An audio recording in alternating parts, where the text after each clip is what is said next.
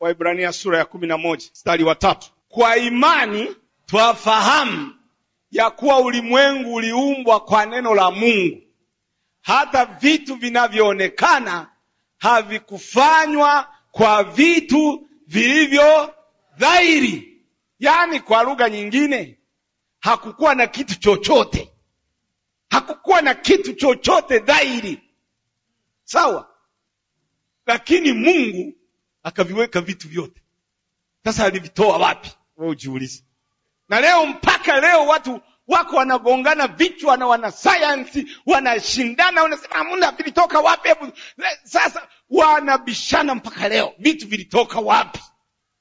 Anasema labda ilikuwa ni gesi na elea elea. Mwingine akasema hiyo gesi na yenyewe ilitoka wapi? Haya, tuseme ilikuwa gesi basi, baadaye ikaja ikayebumba kiti kikaganda kika kikatengeneza ulimwengu. Hai, tukubali tukubali hayo mawazo hafifu. Mtu anakwenda anasoma, amesoma eti ana PhD eti anaitwa dokta, dokta wa kutafuta dunia ilitoka wapi, halafu anatuletea mawazo hafifu eti gesi gesi ilijifunga pamoja hivi, halafu ndio ikaanza sasa, ikawa kigumu, kikaenda kinakuwa kigumu, kinapoa, kinaachia, kinapoa, kinaachia, halafu sasa dunia ikawepo. Sasa mwingine akasema, lakini sasa hata tukisema hilo, twende na hilo, na hiyo gesi ilitoka wapi? Huo mgogoro huko mpaka leo hivi. Mnavyolipa ada, ndio watoto wanaenda kusoma hayo, kwenda kutafuta hivi, na gesi nayo ilianzaje? Ilitoka wapi? Lakini Biblia inasema inahitaji ufahamu na maarifa ya kimungu na ukubali huku ndani kufahamu kwamba Mungu aliumba bila kuhitaji kitu chochote. Sawa? si tulipokuwa tunajenga hili kanisa, mafundi walisema sisi tunaweza kujenga yeye shilingi ngapi? Tukakubaliana sema, lakini mwende mtuletee mchanga, mwende mletee maji. Maji maji tutatoa wapi? Tukasema sasa maji tuta, tutavuta tepo. Haya, sasa mwende mtuletee sementi. Kila kitu tuliwaletea, eti kuvipanga panga tu hivi ndio wanatudai hela.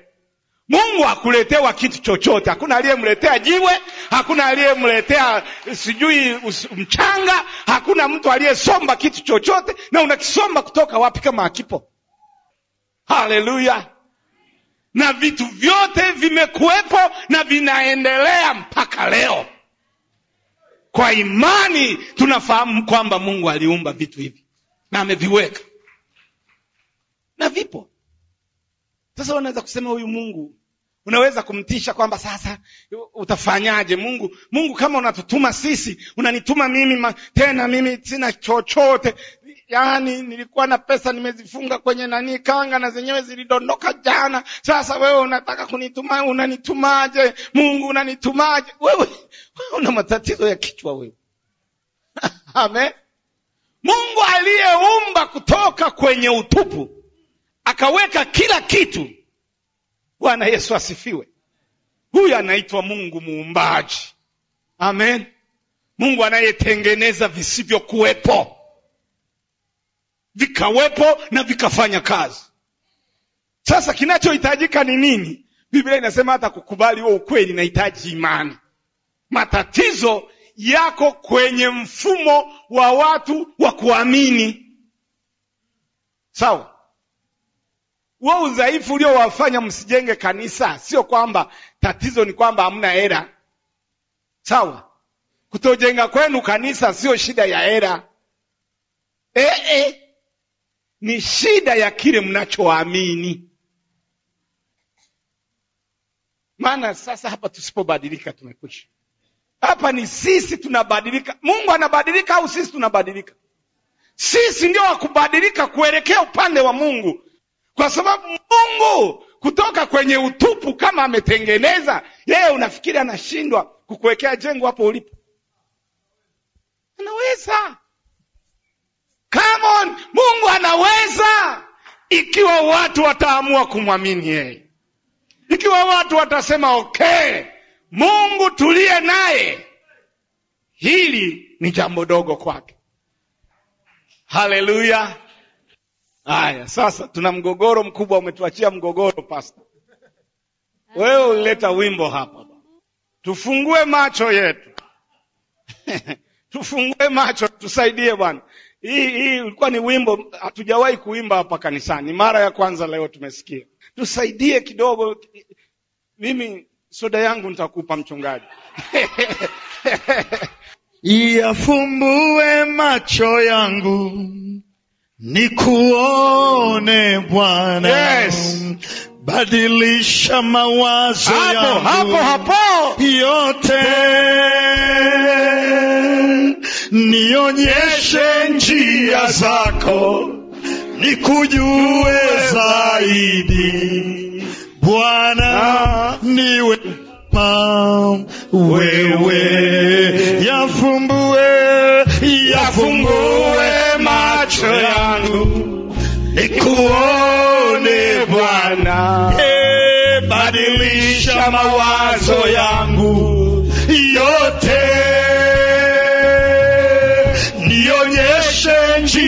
zako, nikujue zaidi Bwana, niwe kama wewe. Yafumbue, yafumbue macho yangu, Yes. nikuone Bwana. Badilisha mawazo yangu yote,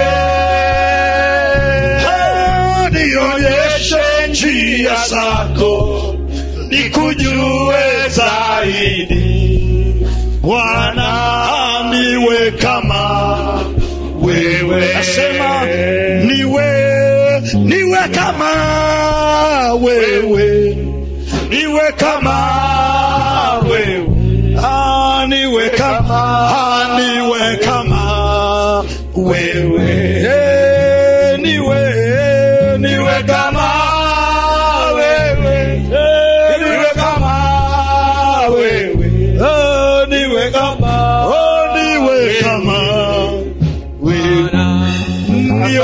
nionyeshe nionyeshe Yes. Glory to God.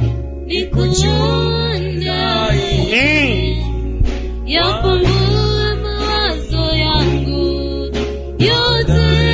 Amen. Kwa hiyo tunasema niwe kama wewe. Nimesikia mmoja anasema uwe kama mimi. Ah, niwe kama wewe. Watu wanataka kusema eti leo Mungu awe kama sisi, eti we kama mimi. Ah, ah, niwe kama wewe. Amen. Yeye anayoyataja mambo yasiyo kwako kana kwamba yapo. Haleluya! Inawezekana, haiwezekani? Amen. Kwa hiyo tunaangalia kwamba Mungu akawa ananionyesha kwamba alipoumba ni yeye aligharamia, ni yeye mwenyewe. Mipango yote ya uumbaji aliipanga peke yake, sawa. Hakuwa na consultant kwamba ana mtu wa kumshauri kwamba hapa, unaonaje mlima huu tungeuelekeza upande huu, alafu mto uje uuzunguke kwa nyuma. Hakuna mtu aliyemshauri. Amen. Ni mawazo ya Mungu, ni kazi ya Mungu kwa gharama zake mwenyewe na rasilimali zake mwenyewe. Hapo mwanzo Mungu aliziumba mbingu na nchi. Mi sijui, sijui unasoma sayansi ya wapi, sijui unasoma historia ya wapi, unaweza kuendelea kuhangaika navyo, sijui ilitoka wapi, dunia ilitoka kona gani, ilianzaje, sijui.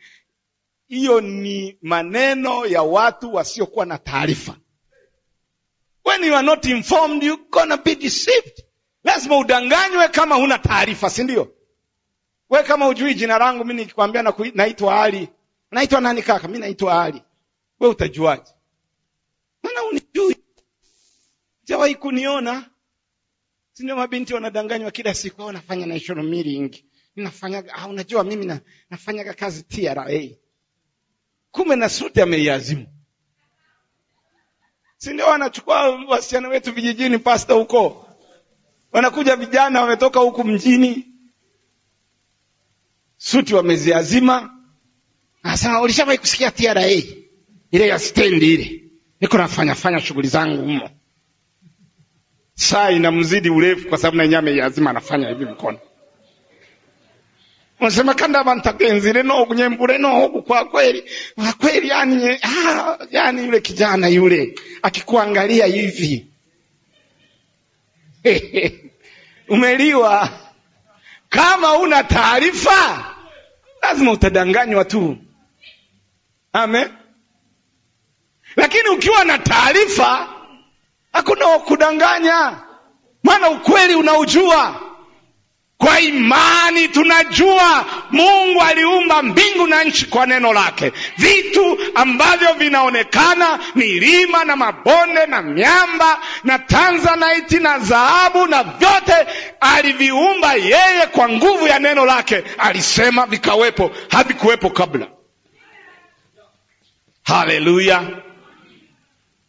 Sasa alafu baada ya kuviumba kwa sababu ni mawazo yake aliamua anafanyaje na vitu alivyoviumba si ndio?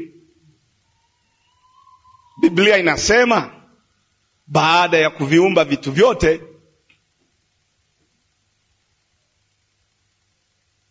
akamtawaza mwanadamu. Si ndio anavyosema? Waibrania umewahi kusoma waibrania sura ya pili? Mbili, mbili saba waibrania kwanza kabla tujaenda kwenye zaburi. Anasema umemfanya mdogo punde kuliko malaika. Umemvika taji ya utukufu na heshima. Umemtawaza juu ya kazi ya mikono yako. Bwana yesu asifiwe. Mungu aliumba kwa malengo yake mwenyewe ili atukuzwe kupitia uumbaji huo. Sawa hebu tusomee ufunuo wa yohana sura ya nne mstari wa kumi na moja. Umestahili wewe bwana umestahili wewe bwana wetu na mungu wetu kupokea utukufu na heshima na uweza kwa kuwa wewe ndiye uliyeviumba vitu vyote na kwa sababu ya mapenzi yako vilikuwako navyo vikaumbwa. Bwana yesu asifiwe kwa sababu yake mwenyewe. Kwa sababu ya utashi na vile alivyotaka yeye. Vitu vyote vimekuweko na aliamua vikawepo. Bwana yesu asifiwe. Haleluya. Na sasa yeye alichoamua kufanya akakabidhi uumbaji wote hivi vitu vyote alivyokuwa ameviumba akamkabidhi mwanadamu. Hebu angalia katika kitabu cha mwanzo sura ya kwanza mstari wa ishirini na saba. Ishirini na nane. Okay hapo. Mungu akawabarikia mungu akawambia zaeni mkaongezeke mkaijaze nchi na, ku, na kuitiisha.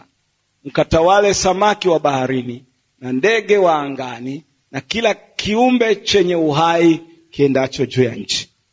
Bwana yesu asifiwe mungu akawambia ulimwengu huu mtautia chini ya milki yenu. Ndiyo kutiisha. Waingereza wanatumia neno subdue. Kwamba ulimwengu huu niliyoumba ninyi ndio mtautawala. Bwana yesu asifiwe. Kwa hiyo akamtawaza juu ya kazi za mikono yake mwanadamu vitu vyote alivyoviumba kwa gharama kubwa akampatia mwanadamu. Amen. Saa ingine tunashangaa sana. Yaani mzazi anaweza akawa na tafuta mali anangaika nini na nini. Baadaye anakufa anasema mali amewachia watoto. Basi mambo yameisha. Hamna tena shughuli nyingine. Yaani wako wat, ma, wako wa, matajiri wengine hata nguo nzuri hawezi kununua. Alafu baadaye vitu vyote watoto wanachukua basi. Kibarua kimemalizika. Oh. ngoja ngoja ngoja. Wako, wako unajua unajua huduma zinavyo zinavyoanza ninyi amwelewi mambo ya huduma. Ukiona sasa ukiona sasa mchungaji anahangaika kufungua maji alafu wewe umekaa tu unasikiliza. Yaani unajua karama ndio zinaisha. Yaani karama unajua mambo ya karama ni mambo ya ajabu sana. Kwa sababu vitu yani ni, ni mambo ya kawaida. Mungu anataka unaona una- unakuwa unaangalia lakini unaangalia sasa hapa na mi naweza kusaidia lipi? Yaani ukiwa kanisani umekaa tu hivi. Aise hiyo ni hatari kubwa sana. Yaani unasema hapa sasa mimi naweza kusaidia lipi hapa kanisani amen. Aha. Sasa Biblia inaonyesha jinsi mungu amemtawaza mwanadamu juu ya kila kitu alichoumba. Kwa hiyo mungu alikuwa hahitaji dunia hii kwa ajili yake mwenyewe si ndio? Hata hivyo yeye ana mbingu si ndio? Eh, kwa hiyo dunia alikuwa haihitaji lakini ame, ametengeneza uumbaji huu na akamweka mwanadamu akammilikisha sasa mwanadamu aligharimia nini? Eti kuna chochote umegharimia hapo? Hamna. Kama vile mzazi tu anaku unashtukia tu anasema ili shamba kuanzia pale pale kwenye kile kimti kirefu pale kwenda tena mpaka kwa jirani kule juu na nyumba iliyomo nimempa Deus. Sasa wewe umeshughulika nini eh? Sasa ukikutana na mitoto mijinga baada ya miezi minne anakata sema kale kasehemu ka chini kale kagiroru mbugu kaliinya chini chini kule, hiyo naona niuze. Sasa hiyo ndio shida tulionayo, na ndio ugomvi mpaka leo. Unajua, Adamu kapewa vile vitu, alafu sura ya tatu tu akaanza kugawa. Sura ya tatu tu ya kitabu cha Mwanzo tunaona tatizo linaanza, tatizo linaanza. Mungu aliumba kwa ajili ya heshima yake, kwa ajili ya utukufu wake na hata alipomuumba mwanadamu, ukisoma Biblia, Mungu ameumba ulimwengu na amemuumba mwanadamu ili yeye apate heshima, sawa? Ili yeye apate heshima. Basi ungeweza kusoma eh, Waefeso sura ya pili mstari wa kumi kwamba Mungu amemuumba mwanadamu kwa heshima yake yeye mwenyewe, ameumba ulimwengu kwa utukufu wake. Kwa hiyo alijua mwanadamu atahusika katika kutambua nafasi ya Mungu na heshima ya Mungu. Mwanadamu alipovipata tu,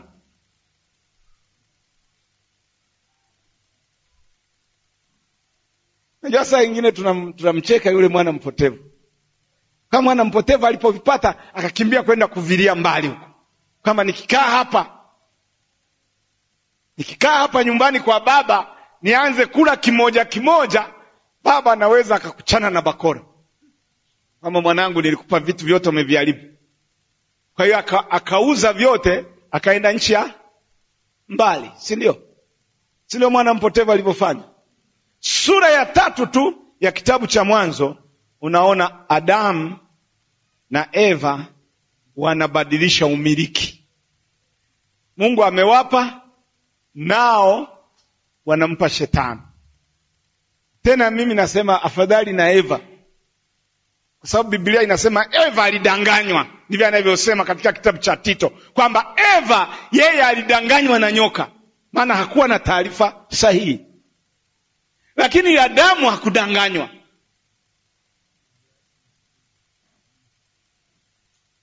Adamu alichagua kumsikiliza mke wake, sawa, kwa sababu wanawake wana nguvu ya kushawishi watu. Hiyo ndio shida ya wanawake. Mwanamke hata ukijikaza namna gani, hata yani atakutengua tu, labda akuhurumie. Kama mnafikiri nadanganya, wewe muulize Samson. Samson alijikaza akamdanganya mara ya kwanza, akasema Delila, mimi naomba nikwambie ukweli, ukifunga hivi vichungi saba vya, nywele ukafunga kwenye mti, hapo nguvu zitaniishia. Delila akamfunga kweli bwana, yaani Delila amemfunga kweli, alafu sasa isiishie kwenye kumfunga angalau angemfunga baada ya kumfunga alafu akamdanganya akisema wafilisti wanakuja. Akaona atafanya nini? Baada ya kumfunga akaenda kuita wafilisti kabisa. Akasema jamani njoo mkamate. Alafu ndio wafilisti wanakuja. Kumbe alikuwa amempiga changa la macho. Amemdanganya. Akang'oa na kile kimti na vichungi vyote kamata watu wakapiga. Sadelila delila akarudi mara ya pili na mara ya tatu. Sasa unaweza kusema kweli hapo samson alikuwa ajui kwamba huyu sio rafiki? Kwa nini akujiuliza kwamba je ningekuwa nimemwambia ukweli si ndio ningekuwa nimemalizika? Mpaka biblia inasema akadhikika. Yaani huku ndani akaona basi wacha tu nimwambie nife. Anasema wacha nimwambie nife. Wewe hujasikia mtu anasema bwana huyu mdada huyu we unamuona hapa alikuwa ameolewa kijiji cha tatu. Mme wake tulimzika mwaka juzi. Mazingira ya kifo wanasema walikuwa wanamuona anachukua hospitali dawa zile mara kwa mara zile za hospitali za mara kwa mara. Alikuwa anaenda anazichukua. Kijana usijitie katika mwanamke huyu. Huyu naye atakuondoa anasema bwana mfena si mnasikia? Mtu anajua kabisa kwamba huyu mazingira ya kifo chake yana utata si ndio? Ya mme. Lakini anasema mimi kwa kweli mi naenda sasa nafahamu kuna watu wengine wanawenza na wanaishi nao. Labda inawezekana hata mwenza wako ameathirika. Sina maana kwamba umwache. Lakini nataka kukuambia kwamba mwanamke ana nguvu ya ushawishi. Ndio pointi yangu. Na wanawake huo ushawishi wangeutumia vizuri tungekuwa mbali. Yaani hiyo nguvu ya ushawishi mwanamke akiitumia sawa inaweza kuleta matokeo mazuri sana. Lakini akiitumia kukuangusha unaanguka. Sawa? Kwa hiyo uwe mwangalifu unaoa nani? Amen? Ukioa mtu ambaye atakuangusha utaanguka tu. Lakini wakachagua adam na eva wakahamisha vitu walivyopewa na mungu wakampa shetani. Sasa unamsikia shetani anazungumza na yesu kwenye kitabu cha Mathayo.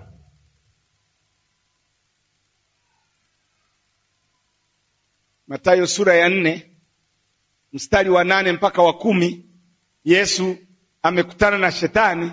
Shetani anamwambia ukinisujudia hivi vitu nitakupatia. Maana ni, nimepewa ni vya kwangu. Katika luka anasema nimepewa. Milki zote hizi na falme zote na ulimwengu wake. Nilikuwa naangalia tafsiri ya lile neno. Anasema sio tu falme lakini na ulimwengu ambao falme zimo.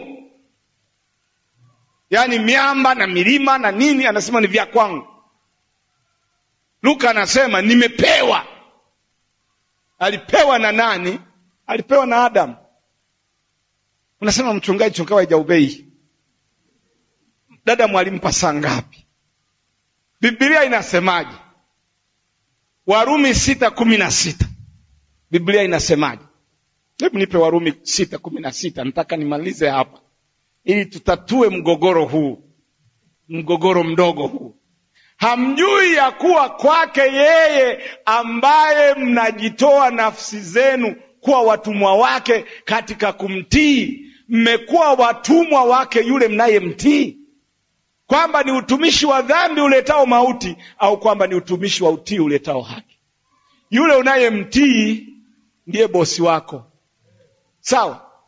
Unayemtii anakutawala. Wewe ni mtumwa wa yule uliyechagua kumtii si ndio mwanadamu alipochagua kutii kile shetani alichosema akakataa kile mungu alichosema mungu alimwambia adamu siku mkila matunda ya mti wa ujuzi wa mema na mabaya mtakufa.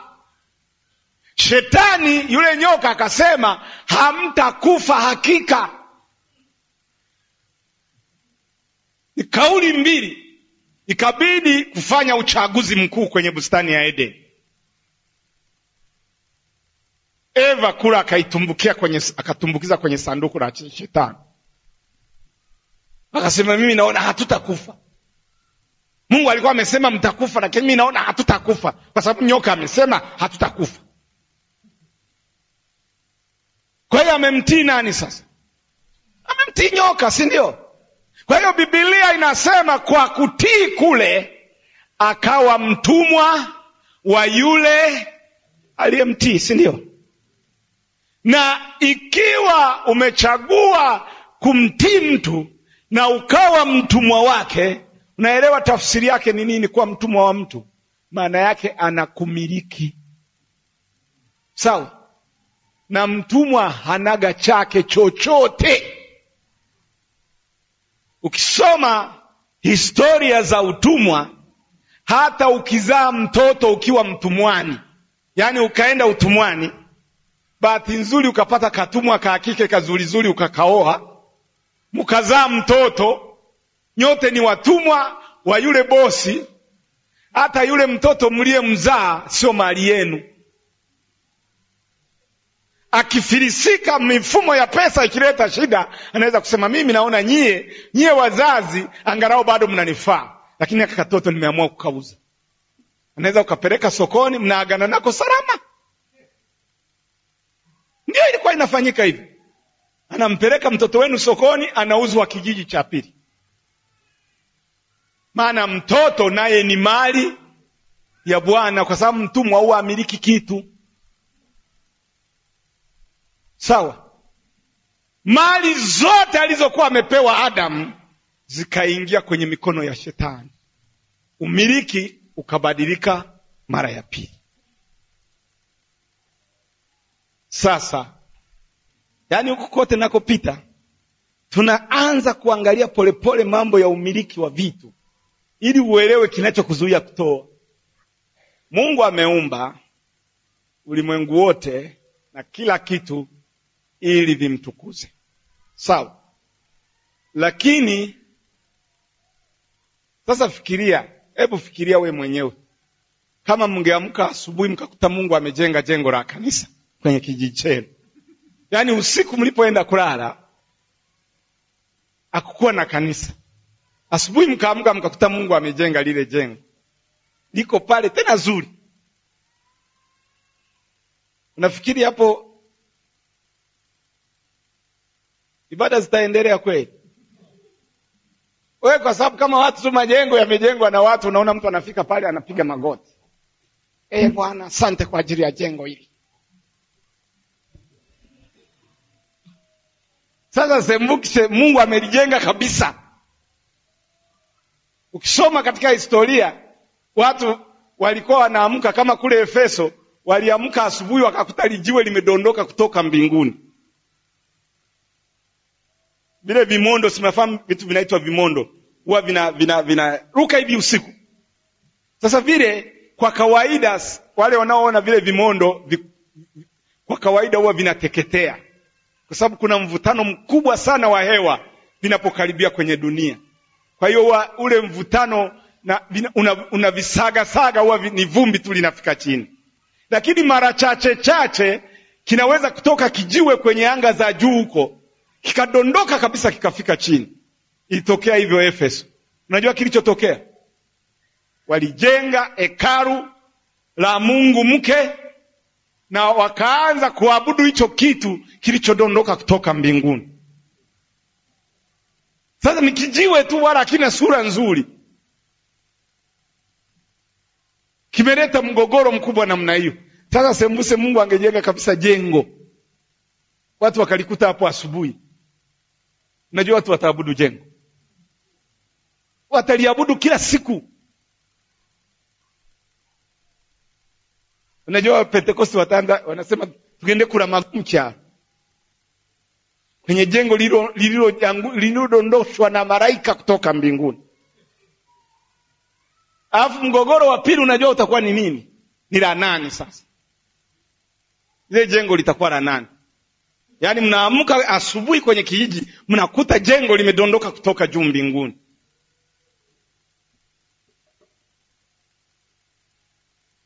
Hapo lazima takuta fadha ameamkia hapo asubuhi na kapikipiki ka nasema hili bila shaka, ngoja tupeleke Vatican tuulize. Wakati wanakwenda sasa Vatican, takuta sasa wapendwa wa TAG wamezunguka pale, kwa jina la Yesu, kwa jina la Yesu, kwa jina la Yesu, kwa jina la Yesu. Wakati wanakemea hawa, utakuta sasa walema wanakuja wanasema, sisi tulikuwa tumeshaanza kuombea hiki kiwanja hiki kiwanja tulishaanza kukiombea kwamba tukichukue tuki, tukinunue. Sasa italeta mgogoro mkubwa sana, kwa sababu umiliki sasa utakuwa ni wanani wa lile jengo. Naona sasa hapo matatizo. Wengine watakuja wanasema, nyie mtuache tu, mwache kugombania hichi kitu, sisi tumekuja kuabudu, mwache tukiabudu alafu tuondoke. Kama watu wanaabudu miti, si mnafahamu vile vigabiro watu wanaviabudu sembuse jengo kabisa Mungu alijenge, mlikute hapo limejengwa na Mungu, si tutapata mgogoro? Sasa Mungu amekutoa hizo sintofahamu zote, ndio Mungu amesema hivi, mimi nitafanya kazi pamoja na nyie, mjenge, alafu mseme umiliki ni wa mchungaji Nyarusi na kanisa lake. Wakitaka Waroma na wenyewe wajenge la kwao pale. Bwana asifiwe.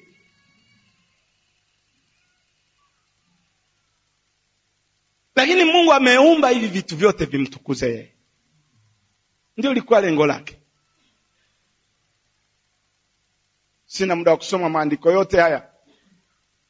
Ikiwa uumbaji tuliokabidhiwa utarudisha heshima ya Mungu kwake, umiliki wetu unahalalishwa kimungu. Sawa? Vitu vyote ambavyo Mungu ametia mikononi mwetu ikiwa vitasaidia kurudisha heshima kwa Mungu, hapo kuna uhalali wa kimungu wa sisi kuwa na vitu vile.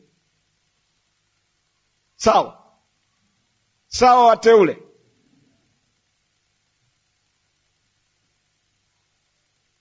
Kwa hiyo Mungu amekusudia kupitia vile vitu alivyoviumba yeye na akawaweka watu kwenye vitu vile, sisi turudishe heshima kwake kupitia vile vitu, ili kusudi la awali kabisa la ulimwengu huu kumtukuza yeye lirudi. Hapo ndipo namna tunavyoteka sasa vile vitu kuvirudisha upande wa Mungu. Adamu amevitoa, sisi tunaweza kuvirudisha. Amen. Biblia inasema kila alichofanya Adamu kikaleta umiliki wa shetani juu ya ulimwengu huu, Yesu amekibatilisha. Na Yesu anapokibatilisha, Yesu aweki jina lake kwenye vitu. Sawa? Hivi hivi mnaelewa kwamba hivi vitu vyote mlivyo navyo ni Mungu amewapa. Ila Mungu sasa haweki jina lake kwenye viwanja, aweke jina kwenye gari, aweke jina sijui kwenye akaunti ya benki. Mungu hafanyi hivyo, kama alivyomwamini Adamu mara ya kwanza, ametuamini sisi tena baada ya Yesu kurudisha nafasi ya mwanadamu kumiliki vitu kimungu, tena Mungu anavirudisha mikononi mwetu. Sawa? Kwa nini? Ili vimtukuze yeye. Sawa? Kwa nini Mungu anami, anarudisha umiliki wa mali na vitu mikononi mwetu? Ni kwa ajili ya utukufu wake, ili vimtukuze yeye. Tutaendelea na kipindi hiki wakati mwingine, lakini ndani ya uumbaji Mungu anataka kurudisha utukufu kwake yeye mwenyewe. Anatafuta watu waaminifu ambao wao pia wanatambua heshima aliyo nayo katika maisha yao, awamilikishe aweke mikononi mwao vitu ili vimrudishie yeye utukufu. Amen. Amen. Huo ndio msingi mkuu wa utoaji unaanzia kwenye uumbaji. Amen. Je wako watu waaminifu? Ndani ya makanisa ya rema tutapata watu waaminifu? Au watu wakimiliki wanakimbiza kuficha kwa shetani awawekee adamu alifanya hivyo. Akachukua vitu amepewa na mungu akapeleka kwa shetani. Sasa sisi salama yetu ni kubaki upande wa mungu pamoja na vitu vyetu. Lakini ili tubaki upande wa mungu na vitu vyetu lazima tukusudie kwamba mungu atatukuzwa katika maisha yetu na vitu ambavyo mungu ametutawaza ametumilikisha. Amen. Amen. Yaani ukigusa mambo ya kumiliki vitu watu yani mara moja usingizi unaanza. Watu walikuwa wamechangamka kweli hapo. Watu wote walikuwa wamechangamka. Lakini unapoanza sasa kugusa mambo ya umiliki wa vitu. Tena wengine wanavyong'ang'ania vijawa vingi. Mungu hajakuongezea vikawa vingi. Sasa hivyo vichache. Wewe using'ang'anie. Fikiri kwamba niko kwa ajili ya utukufu wa mungu. Amen. Hebu tusimame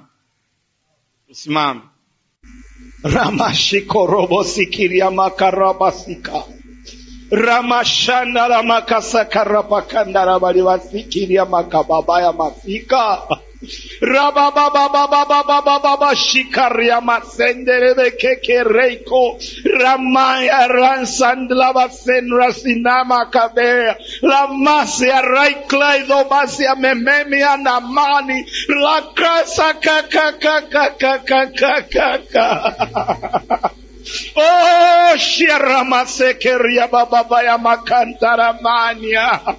Eh, Shekia Bakababa Bababaya Mashika.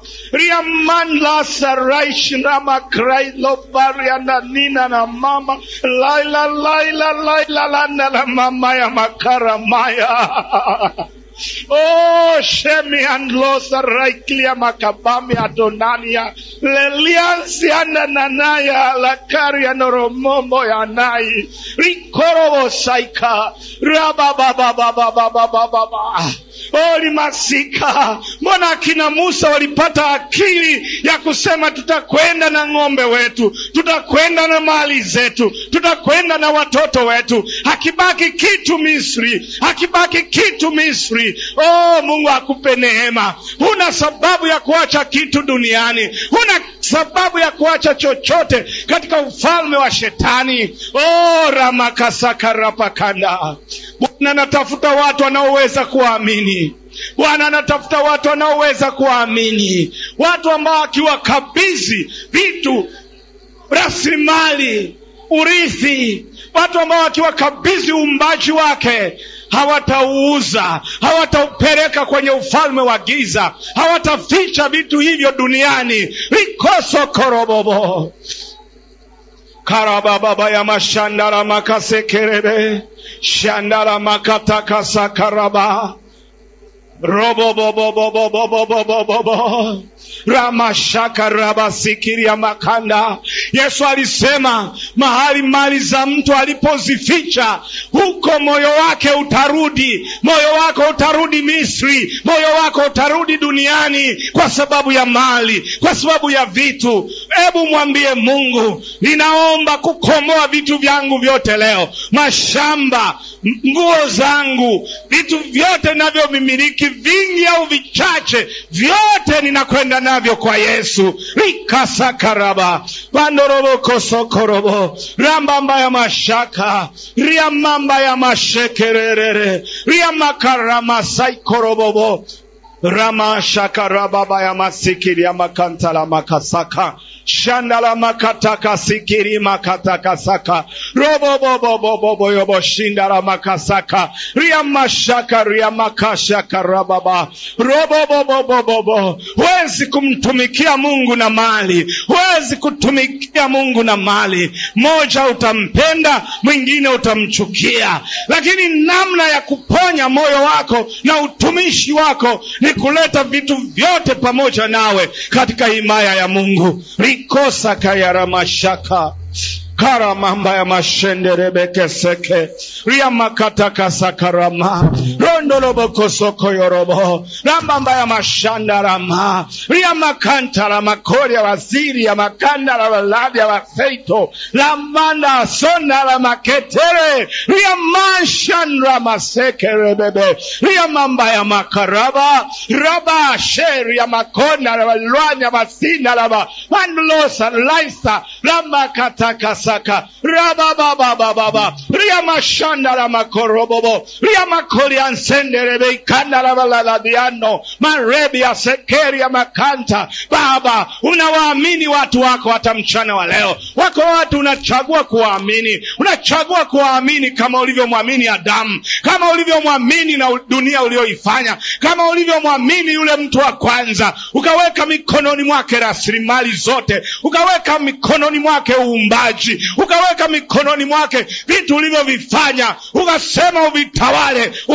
uvimiliki bwana umekuwa unamilikisha watu wako. Na hata mchana wa leo wako watu watamiliki vitu hapa. Baba asante kwa sababu unawaamini watu wako. Unawaamini watoto wako wa kike na wa kiume. Unawaamini vijana. Unawaamini wababa, unawaamini wakina mama. Unawaamini na rasilimali zako e bwana. Likosokorobo karababababa ya mashanda. Rakatakasaka. Ora mamba ya masika. Bwana akupe neema ya kuwa mwaminifu. Kama mungu anakuamini o ukaonekane kuwa mwaminifu. Ukaonekane kuwa wakili mwema. Ukaonekane kuwa mtunzaji mwaminifu wa vitu mungu anavyoweka katika maisha yako. Rikasakarababa rikosokoyorobobo